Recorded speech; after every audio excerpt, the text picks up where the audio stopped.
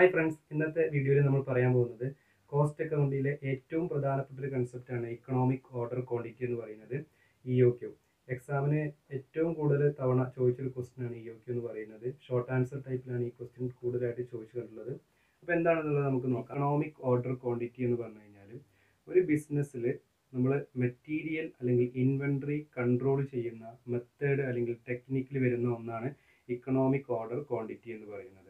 Material control ചെയ്യുന്നത് അല്ലെങ്കിൽ stock control ചെയ്യുന്നത് എങ്ങനെയാണ് ഇ ഒ കിലൂടെ എന്ന് ചോദിച്ചു കഴിഞ്ഞാൽ ഈ നമുക്ക് ഈ പേരിൽ നിന്ന് കിട്ടും economic order quantity quantity order ചെയ്യുക.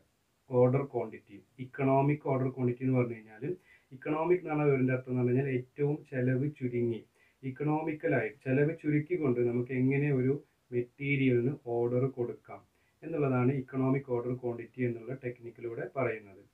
നമുക്കറിയാം ഒരു ബിസിനസ്സിൽ മെറ്റീരിയൽ ഓർഡർ ചെയ്യുക എന്ന് പറഞ്ഞു കഴിഞ്ഞാൽ ഒരു കമ്പനിയെ സംബന്ധിച്ചിടത്തോളം ആ ഫാക്ടറിയിലേക്ക് ആവശ്യമുള്ള മെറ്റീരിയൽസ് വേണമെങ്കിൽ അവർക്ക് വർഷത്തിൽ കുറേ ഒരുപാട് തവണ വേണമെങ്കിൽ ഓർഡർ ചെയ്യാം. ഇല്ലെങ്കിൽ ഒരു വർഷത്തേക്കുള്ളത് ഒരുമിച്ച് വേണമെങ്കിൽ ഓർഡർ ചെയ്തിട്ട് കൊണ്ടുവന്ന് വെക്കാം. എന്നാൽ ഈ ഒരു വർഷത്തേക്കുള്ളത് ഒരുമിച്ച് ഓർഡർ ചെയ്യുന്നതും എന്നാൽ പല സമയങ്ങളിലായി ഓർഡർ ചെയ്യുന്നതും രണ്ടും വ്യത്യാസമുണ്ട്. എന്താ വ്യത്യാസം എന്ന് ചോദിച്ചു കഴിഞ്ഞാൽ ഒരുമിച്ച് ഓർഡർ കൊടുത്തു കഴിഞ്ഞാൽ അവിടെ ട്രാൻസ്പോർട്ടേഷൻ എന്ന് പറയുന്നത് കുറച്ച് മതി. എന്ന് പറഞ്ഞാൽ ഒറ്റയടിക്ക് നമുക്ക് അത്രയും കൊണ്ടുവരാം. അപ്പോൾ ട്രാൻസ്പോർട്ടേഷന്റെ ചിലവ് വളരെ കുറവാണ്. എന്നാൽ അങ്ങനെ കൊണ്ടുവരുന്ന മെറ്റീരിയൽ നമ്മളിവിടെ എന്ത് ചെയ്യണം? സ്റ്റോർ ചെയ്ത് വെക്കേണ്ട ആവശ്യമുണ്ട്. എന്നാൽ നമ്മൾ പലതവണയായിട്ട് കൊണ്ടുവരികയാണെങ്കിൽ കുറച്ച് കുറച്ച് കൊണ്ടുവരികയാണെങ്കിൽ നമുക്ക് സ്റ്റോർ ചെയ്യേണ്ട കാര്യം ഉണ്ടാവില്ല. എന്നാൽ അവിടെ നമുക്ക് പലതവണ നമുക്ക് ട്രാൻസ്പോർട്ടേഷന്റെ കോസ്റ്റ് വരും. അപ്പോൾ ഇവിടെ നമ്മൾ രണ്ട് കോസ്റ്റ് പറഞ്ഞു. ഒന്നെന്ന് പറയുന്നത് ഇവിടെ സ്റ്റോർ ചെയ്യുന്ന കോസ്റ്റും മറ്റൊന്ന് നമ്മളിവിടെ കൊണ്ടുവരാനുള്ള കോസ്റ്റും അതിന് നമ്മൾ ഈ ട്രാൻസ്പോർട്ടേഷൻ കോസ്റ്റ് എന്ന് പറയുന്നത് ഓർഡറിങ് കോസ്റ്റ് ആണ്. ഓരോ തവണയും ഓർഡർ കൊടുക്കുമ്പോഴാണ് നമുക്ക് ട്രാൻസ്പോർട്ടേഷൻ കോസ്റ്റ് വരുന്നത്. അപ്പോൾ അതിനെ നമ്മൾ ഓർഡറിങ് കോസ്റ്റിന്റെ ഉള്ളിലാണ് വരുത്തുന്നത്. ഈ ഓർഡറിങ് കോസ്റ്റിൽ ട്രാൻസ്പോർട്ടേഷൻ കോസ്റ്റ് മാത്രമല്ല വരിക. നമുക്കിപ്പോൾ ഓർഡർ കൊടുക്കണമെങ്കിൽ പണ്ടത്തെ രീതിയൊക്കെ ആണെങ്കിൽ നമ്മളൊരു മെയിൽ അയക്കണം. അല്ലെങ്കിൽ പിന്നെ അല്ലെങ്കിൽ നമ്മളിപ്പോൾ ഈ ഓർഡർ കൊടുക്കണം എന്നുണ്ടെങ്കിൽ ഒന്നെങ്കിൽ മെയിൽ അയക്കണം. അല്ലെങ്കിൽ ഒരു ഒരു ലെറ്റർ അങ്ങോട്ട് അയക്കണം. അല്ലെങ്കിൽ ഫോൺ ചെയ്യണം. ഇപ്പം ഇങ്ങനെ വരുന്ന കുറേ ചാർജുകളുണ്ട് അപ്പോൾ അതിന് വേണ്ടിയിട്ട് നമ്മൾ ഒരാളെ അവിടെ അപ്പോയിന്റ് ചെയ്യേണ്ടി വരും. അയാൾക്ക് കൊടുക്കുന്ന സാലറി ഇതൊക്കെ നമുക്ക് ഓർഡറിങ് കോസ്റ്റ് വരുന്നതാണ്. അതുപോലെ തന്നെ മറ്റൊരു കാര്യം എന്ന് പറയുന്നത് ക്യാരി ചെയ്യുന്ന കോസ്റ്റ് എന്ന് പറഞ്ഞു കഴിഞ്ഞാൽ സ്റ്റോർ ചെയ്യുന്നത്. സ്റ്റോർ ചെയ്യുമ്പോൾ നമ്മൾ ആ ഗോഡൌണിന് കൊടുക്കുന്ന റെന്റ് അതുപോലെ തന്നെ അതിന് അതുമായി ബന്ധപ്പെട്ട എന്തെങ്കിലും ഇൻഷുർ ഒക്കെ ചെയ്യുന്നുണ്ടെങ്കിൽ അതൊക്കെ നമുക്ക് എന്താണ് ക്യാരിയിങ് കോസ്റ്റിൽ വരുന്നതാണ്. അപ്പോൾ ഇവിടെ ഈ ഇൻവെന്ററി നമ്മൾ കൊണ്ടുവരുന്ന ഓർഡർ ചെയ്യുന്നതുമായി ബന്ധപ്പെട്ട് രണ്ട് കോസ്റ്റുകളാണ് മെയിൻ ആയിട്ട് വരുന്നത്. ഒന്ന് ഓർഡറിങ് കോസ്റ്റ് അതിനെ ക്ലാസിഫൈ ചെയ്യും മറ്റൊന്ന് ക്യാരിയിങ് കോസ്റ്റ് എന്നതിനെ ക്ലാസിഫൈ ചെയ്യും. ഈ രണ്ട് കോസ്റ്റിനെ നമ്മൾ ഒരുമിച്ച് ടോട്ടൽ കോസ്റ്റ് ഓഫ് ഇൻവെന്ററി എന്ന് പറയുന്നു. അപ്പോൾ നമ്മൾ പറയുന്നത് ടോട്ടൽ കോസ്റ്റ് ഓഫ് ഇൻവെന്ററി എന്ന് പറയുന്നത് ഈ രണ്ട് കോസ്റ്റും കൂടി ഒരുമിച്ചാണ്. അപ്പോൾ ഈ ഇക്കണോമിക് ഓർഡർ ക്വാണ്ടിറ്റിയുടെ മീനിങ് എന്ന് പറഞ്ഞു കഴിഞ്ഞാൽ ഇ ഒ കെയുടെ മീനിങ് എന്ന് പറഞ്ഞു കഴിഞ്ഞാൽ total cost of inventory minimise ചെയ്യുന്ന രീതിയിൽ ഒരു കമ്പനി ഓർഡർ കൊടുക്കേണ്ട ക്വാണ്ടിറ്റി അതായത് ഇപ്പോൾ ഒരു വർഷത്തിൽ അവർ എത്ര തവണ ഓർഡർ കൊടുക്കുകയാണെങ്കിലും ഒരു ഒരു തവണ ഓർഡർ കൊടുക്കുമ്പോൾ അവർ എത്ര ക്വാണ്ടിറ്റി ഓർഡർ ചെയ്യണം. ഇത്രയുള്ള സിമ്പിൾ ആയിട്ട് ഒരു വർഷം അവർക്ക് വേണ്ടത് ആയിരം ക്വാണ്ടിറ്റി ആണെന്നുണ്ടെങ്കിൽ ഒരു കമ്പനിക്ക് ഒരു വർഷം ആയിരം ക്വാണ്ടിറ്റി ആണ് വേണ്ടതെന്നുണ്ടെങ്കിൽ വേണമെങ്കിൽ അവർക്ക് ആയിരം ക്വാണ്ടിറ്റി ഒറ്റ തവണ വിളിച്ചിട്ട് ആയിരം ക്വാണ്ടിറ്റി വേണമെന്ന് പറയാം ഒരു ഓർഡർ ഇനി അതല്ലെങ്കിൽ ആ കമ്പനിക്ക് വേറെ ആൾട്ടർനേറ്റ് പത്ത് തവണ വിളിച്ചിട്ട് നൂറ് നൂറ് നൂറ് വെച്ചിട്ട് പത്ത് തവണ ഓർഡർ ചെയ്യാം. നമ്മൾ പറയുന്നത് ഈ കമ്പനിയെ സംബന്ധിച്ചോളം ഇവർക്ക് ഏതാണ് ഏറ്റവും ബെറ്റർ പത്ത് തവണ നൂറ് വെച്ച് ഓർഡർ ചെയ്യുന്നതാണോ? അതല്ലെങ്കിൽ ആയിരം എന്നുള്ളത് ഒരുമിച്ച് ഓർഡർ ചെയ്യുന്നതാണോ? ഏതാണ് ബെറ്റർ അല്ലെങ്കിൽ എത്ര അഞ്ഞൂറ് ഓർഡർ ചെയ്യുന്നതാണോ? അല്ലെങ്കിൽ മുന്നൂറ് ഓർഡർ ചെയ്യുന്നതാണോ? ഏതാണ് ആ കമ്പനിയെ സംബന്ധിച്ചോളം ബെറ്റർ എന്നുള്ളത്? ഇപ്പൊ അഞ്ഞൂറാണ് ആ കമ്പനി ഓർഡർ ചെയ്യുന്നുണ്ടെങ്കിൽ വർഷത്തിൽ രണ്ട് തവണ ഓർഡർ കൊടുത്താൽ മതി.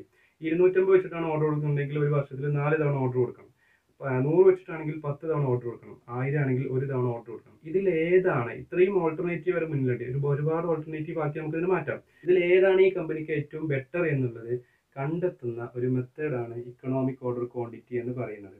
അപ്പോൾ ഇക്കണോമിക് ഓർഡർ ക്വാണ്ടിറ്റിയുടെ മീനിങ് ആയിട്ട് നമുക്ക് പറയാൻ പറ്റുന്നതാണ് ordering quantity which minimises the total cost of inventory total cost of inventory minimise ചെയ്യുന്ന രീതിയിൽ ഓർഡർ കൊടുക്കേണ്ട ക്വാണ്ടിറ്റി എന്ന് പറയുന്നത് ഇക്കണോമിക് ഓർഡർ ക്വാണ്ടിറ്റി എന്ന് പറയുന്നത്.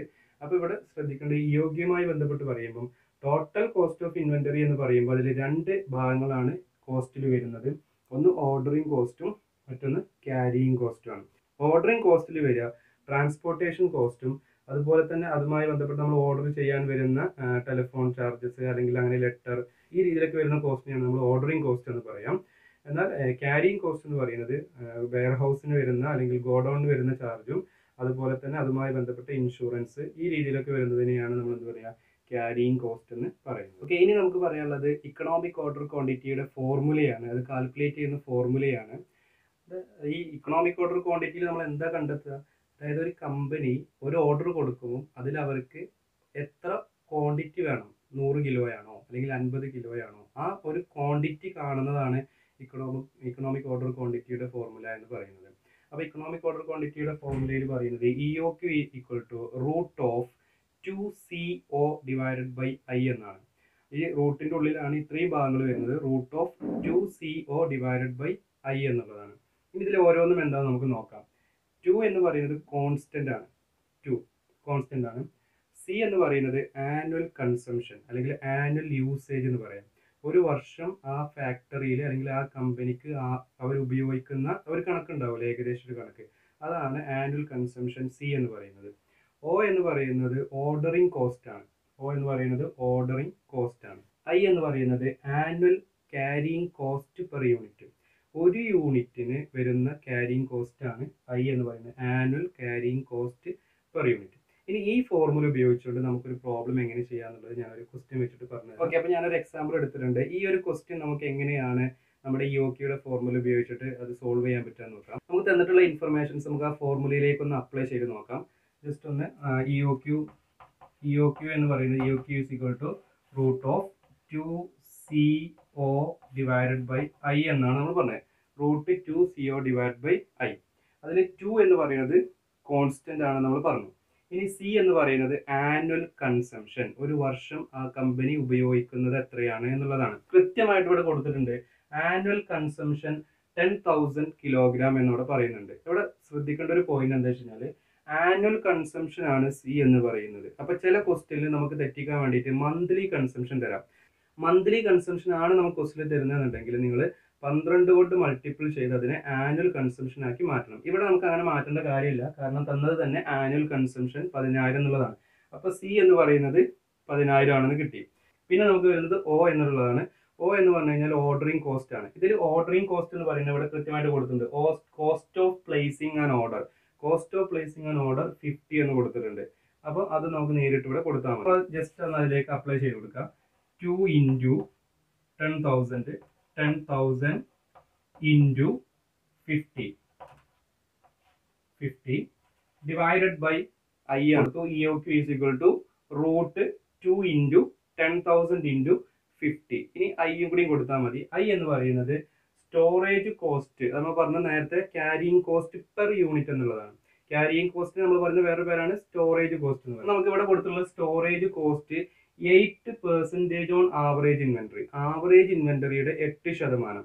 ഒരു കാര്യം മനസ്സിലാക്കുക. ഈ ഐ ഏത് സമയത്ത് നമുക്ക് തരുന്നത് ശതമാനത്തിലായിരിക്കും. അധിക സമയത്ത് നമുക്ക് തരുക പെർസെന്റേജിലായിരിക്കും പറയാം. എട്ട് ശതമാനം അല്ലെങ്കിൽ പത്ത് ശതമാനം ഒക്കെ ആയിരിക്കും പറയാം. ശതമാനത്തിൽ പറയുകയാണെങ്കിൽ ആവറേജ് ഇൻവെന്ററിയുടെ ആയിരിക്കും പറയുന്നുണ്ട് അപ്പോൾ ആവറേജ് ഇൻവെന്ററി എന്ന് പറഞ്ഞിട്ടൊരു ഇൻഫർമേഷൻ നമുക്ക് തന്നിട്ടുണ്ട്. അത് cost per kilogram of material cost per kilogram of material എന്ന് പറയുന്നത് ടു ആണ്. അതായത് ഈ രണ്ടിന്റെ എട്ട് ശതമാനം ഇങ്ങനെ എടുക്കണം. ഈ കോസ്റ്റ് പെർ കിലോഗ്രാം ഓഫ് മെറ്റീരിയലിന്റെ എട്ട് ശതമാനം ഈ രീതിയിൽ വേണം നമ്മൾ ഐ കാണാൻ വേണ്ടിയിട്ട്. അപ്പൊ രണ്ടിന്റെ എട്ട് ശതമാനം എന്ന് പറയുന്നത് പോയിന്റ് വൺ സിക്സ് ആണ്. പോയിന്റ് വൺ സിക്സ് അപ്പൊ നമ്മൾ ഈ ഒരു ഇക്വേഷൻ നമ്മൾ കൊടുത്തു കഴിഞ്ഞാൽ two into ten thousand into fifty divide by point one six ചെയ്ത് കഴിഞ്ഞാൽ നമുക്ക് എന്ത് കിട്ടും? ഇ ഒ കെയുടെ ആൻസർ കിട്ടും. അപ്പൊ നമ്മൾ ഇത് കാൽക്കുലേറ്റ് ചെയ്ത് കഴിഞ്ഞാൽ നമുക്ക് കിട്ടുന്ന ആൻസർ എന്ന് പറയുന്നത് two thousand five hundred kilogram എന്നുള്ളതാണ്. Two thousand five hundred kilogram രണ്ടായിരത്തി അഞ്ഞൂറ് കിലോഗ്രാം എന്നുള്ളത് നമുക്ക് എന്ത് കിട്ടും? അതിന്റെ ആൻസർ ആയിട്ട് കിട്ടും. ഈ ഇത് നമ്മൾ എന്ത് ഇത് ഒരിക്കലും റുപ്പീസ് അല്ല രൂപയല്ല. കാരണം നമ്മൾ ഇ ഒ കെ വെച്ചിട്ട് കാണുന്നത് എത്ര ക്വാണ്ടിറ്റി ഓർഡർ ചെയ്യണം എന്നുള്ളതാണ്. അപ്പോൾ നമുക്ക് അവിടെ തെറ്റി പോകുന്നത് rupees two thousand five hundred ഒരിക്കലും എഴുതരുത്. അത് കിലോഗ്രാം ആണ്. അതുകൊണ്ട് two thousand five hundred kilogram ആണ് ആ കമ്പനി ഒരു വർഷത്തിൽ ഒരു തവണ ഓർഡർ കൊടുക്കുമ്പോൾ ചെയ്യേണ്ടതെന്ന് പറയുന്നത് ടു തൗസൻഡ് ഫൈവ് ഹൺഡ്രഡ് ആണ്.